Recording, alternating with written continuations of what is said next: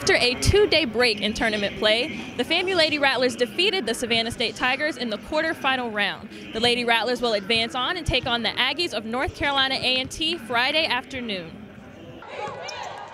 The Lady Rattlers led from the tip by as many as 13. The Savannah State Tigers would claw their way back in to close the gap to just one with 11 seconds remaining. The Lady Rattlers shot 60% from the free throw line, fending off a late charge by Savannah State.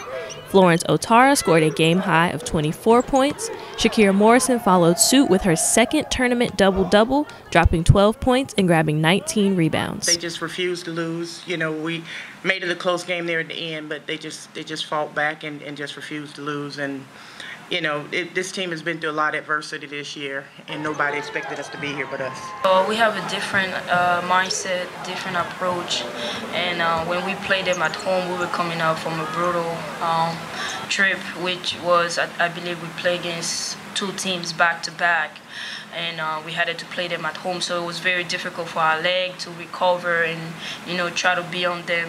Um, but this time was a little different. We had two days to rest and analyze them and so i think that helped us a little bit. My, i guess my scoring wasn't there so i knew i had to do something else and that was defend and rebound. For rattler vision i'm ebony ivy with your MEAC basketball report